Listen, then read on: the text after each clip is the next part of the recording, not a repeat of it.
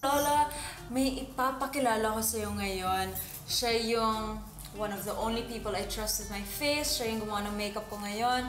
He's a celebrity makeup artist. Mm. He does the faces of so many well-known people, both here and abroad. Wow. the one and only Dave Kiambao. Thank you. Hello. So, Lola, nakausap ko na si Dave kanina about the look na I want for you and I feel would work best for you, di ba Dave? Yes, of course. So, an anong gagawin natin sa kanya, Dave? Well, ang gagawin natin kay Lola, syempre, is uh, very fresh na makeup and also something na ma, mag, parang lifting sa face para batang-bata ulit tignan si si Lola after after our makeover. Okay po ba yun sa'yo, Lola? Ay, oo, okay na okay. Diba? Yung Oo. fresh lang. Sabi ni Oh, Lola kasi kanina, ayaw niya ng dark masyado. ayaw niya ng something that suits her age. Yeah. Something na magiging magkahawig tayo. O tama-tama na si Dave ang gagawa sa'yo ngayon. Actually, mga kapuso, si Dave po talaga yung makeup artist ko and I'm so happy na Wow. finally magkasama kami on screen. Yeah. Diba? Yeah, ngayon lang. Ngayon lang yan. Ngayon lang talaga. So I'm really confident na you're in good hands. Ang swerte ko pala, no? Siya natapatan ko. No? Mm, Actually, po, Lola, I trust Dave with my face, and that's a big thing. Ayan, so I'm going to leave you to to get to it. I will see you guys later. I'm so excited. Yeah, eh. excited.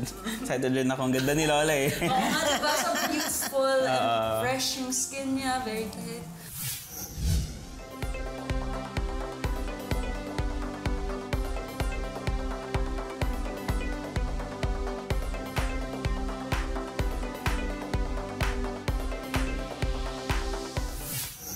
And now it's time to check in on Lola Imelda's transformation!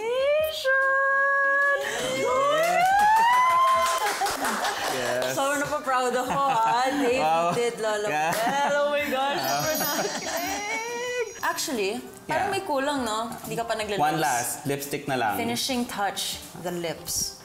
Kain ko na. Okay. So, ito. Anong kulay? So, um, nude lipstick pa rin yung gagamitin ko. Tasok na. I'm sorry kasi gusto namin full makeover na kapag na-reveal namin yung transformation nyo. So, kanina, Lola, may pinakita kaming dalawang options sa'yo na damit, di ba? Pero hindi namin pinakita yung pangatlo. And now is the time for you to dress up. So, nakaka-excite. Ready ka na po ba? Ah, ready, ready na, Kanina no? ba born ready si Lola Mel eh? okay, game na. Game na. Ay, divorce na muna kayo. Alam ko nagka-moment kayo pero...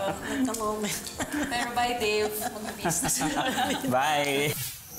And now, it's time to see the final makeover of Lola Imelda. Are you ready? I'm so oh. excited. I haven't seen the makeup. You haven't? No. It's amazing. Dave did a wonderful job. Oh my god, I'm pretty sure you did. Ready? Yes? Game? Yes!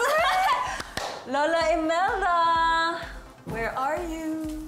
I'm here. Hi! Yes. Oh!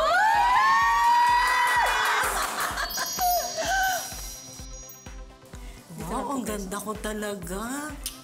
Para kung naalala yung nakaraan ko, di ba? Parang may kulang. May kulang. Sino kaya yung kulang na yun? Parang may gusto pa tayong idagdag dito.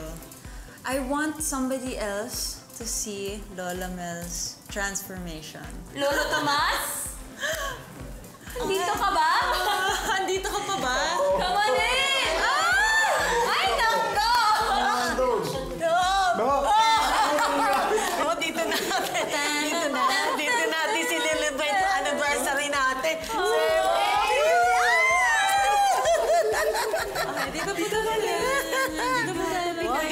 di bulabulaklak. Love, di bulabulaklak ka pa. Naalala ko yung nakaraan natin. Sa anniversary natin, may flowers ka. Pero mas marami itong dala mong flowers. Parang ilang... Tatlo lang ako eh. Dati tatlo-tatlo flowers lang ang dala niya. Ngayon, ang daming rose dito. Ano, in love ko sa akin ngayon, ha? Nakita mo, ang ganda-ganda. Matagal naman ako in love sa'yo eh.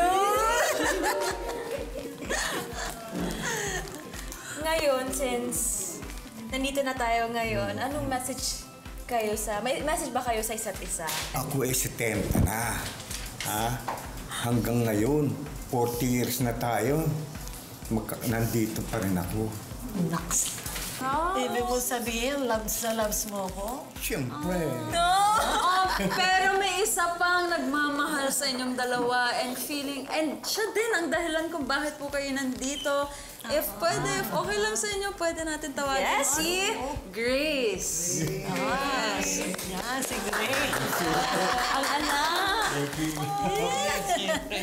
Ang ganda nito. Grace, may message ka ba sa mommy mo? Thank you actually sa lahat-lahat na natutunan ko sa buhay ko at sa pag-aalaga sa akin. Kasi in life, all the things na alam ko, lahat naman ang galing sa parents ko. Especially sa inyong dalawa. Naiiyak tuloy ako. Nilip.